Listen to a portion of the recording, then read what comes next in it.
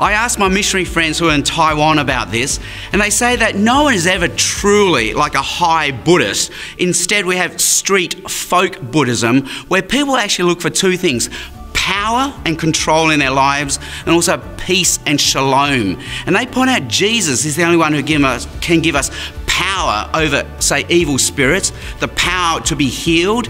And Jesus gives us peace. He doesn't take away suffering, but He lets us know there's a wisdom, there's a plan, a purpose, a direction to this universe. And because of that, we can enjoy a peace, a shalom that no one else can enjoy.